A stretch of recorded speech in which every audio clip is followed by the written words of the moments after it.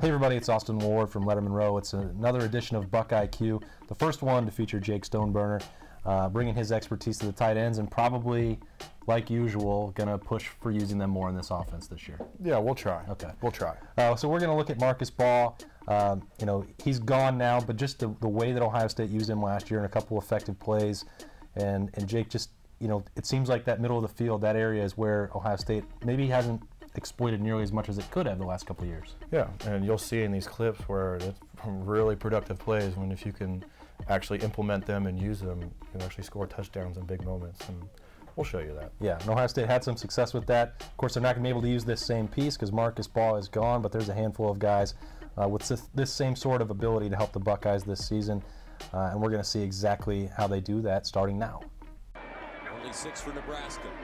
J.T. Barrett Rifles it, caught, and another touchdown. All right, so Stoney, here's the first example maybe of where Marcus Baugh, the tight end position in particular, comes into play for Ohio State.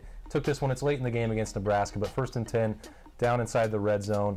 You know, what is it about, if you're standing there, you're Marcus Baugh, you see this, this defense, what goes through your mind in that tight end spot? Well, based on the play call, Marcus has got to know he is the main target.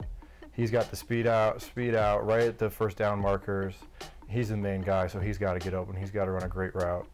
Um, your first thoughts are, I got I got to make sure I run this route at the right depth, mm-hmm. right timing, so JT can get me the ball and I can score. You don't have the right depth, the right timing. You might have a wide open area or a wide open route, but if it's not the right time, it's not going to work out like this does right here. And, the, and just that tight end, you know, that value here, the middle of the field, taking up, maybe getting a matchup on a linebacker. How much does that you know help other things? Why is this something that can be so effective for Ohio State moving forward? If a tight end can be a linebacker and a safety, that means they got to keep an eye on him, and that means the wide receivers and the running backs are one-on-one with guys who have trouble tackling. And anytime you can have a guy inside the middle who can block and catch, adds just tremendous pressure because you're putting linebackers who are covering wide receiver type athletes who can't who aren't supposed to be covering those guys and that just adds more pressure in the middle and opens up things on the outside the run game all sorts of things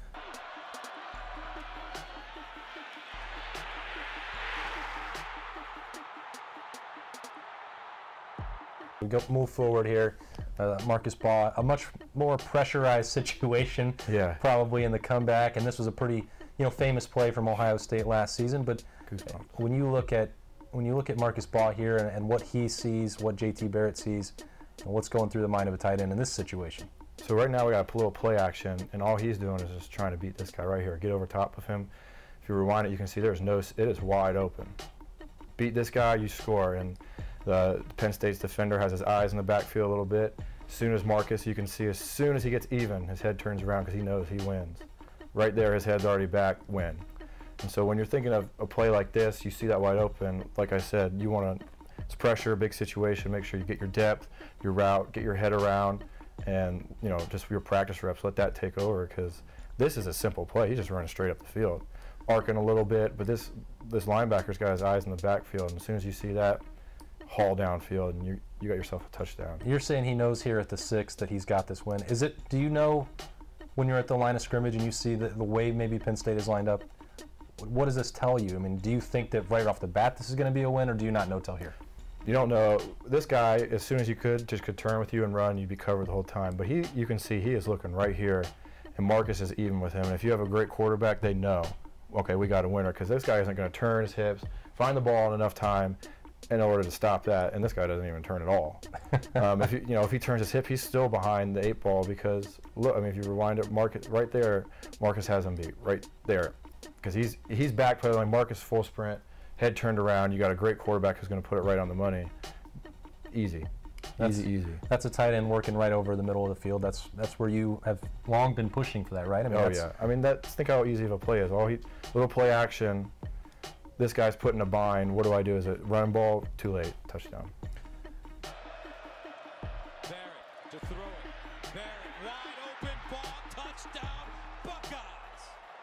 And then we've got a similar concept here from another another big game. Uh, this isn't the first time on Buck IQ that Michigan's defense has uh, has looked a little suspect.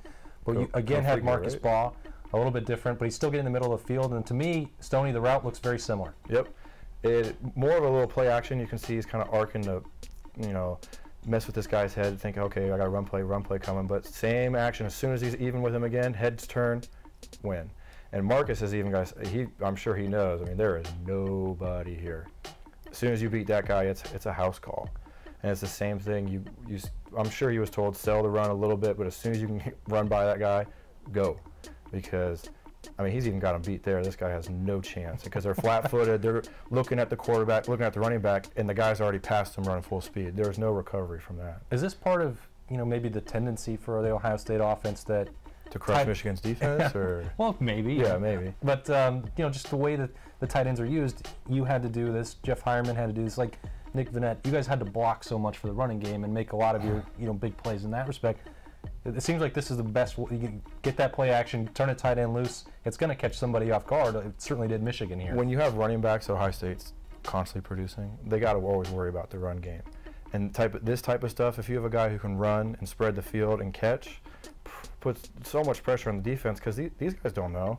You, you got Mike Weber back here. He's an all all American running back. We got to worry about that. Whoop, Marcus is right by you, Sure. and that just adds so much. Um, stress to a defensive coordinator because they're like, okay, well, you know, what are we playing for here? you know, what, what, what are we playing for the run? How do I how do I coach this guy? Because if he plays him running that route, look who's open right here, wide open running the ball. So th- it just puts the defensive coordinator and the defense in a huge bind when you have a guy who can stretch the field up the middle. this play and the Penn State game. I mean, the whole middle of the field is left open. Is that you think teams that you know have seen what Ohio State wanted to do that they don't test the middle of the field, or just a, a, maybe the nature of a defensive call here? I think nature, a little bit of both. Nature of the defensive call, um, situationally, and uh, looks like they're like in a two deep man maybe, Mhm. and you know that's just going to leave the field wide open. And hate to say it, number seven, but you're not doing your job. Probably not an Uh, enjoyable film study up there. I don't know what their version of Buck IQ is, but it n- probably this isn't a game that's going to go down well for him. No, definitely not. Um, he's struggling right. I don't think that's a good amount of separation with nobody over top. Uh, that usually doesn't bode well. Um, but I mean, he was put in a bind. There was no one. I mean, what is he supposed to do? Might be his, the defense coordinator from Michigan. Might I don't, might not be making a great. Have some different right things to there. say about Yeah, yeah, yeah. Well, Ohio State's going to have to have a different guy running these routes this season. Marcus Baugh is gone. Uh, that'll be an interesting training camp battle. We'll have Jake Stoneburner, of course, bringing his expertise to that when August rolls around, and then everything after that throughout the season. Uh, it's great to have him in here at Lettermen Row and back with Buck IQ for the first time to look at the tight end play and how that can help Ohio State. So for Stoney, I'm Austin Ward. We'll see you next time.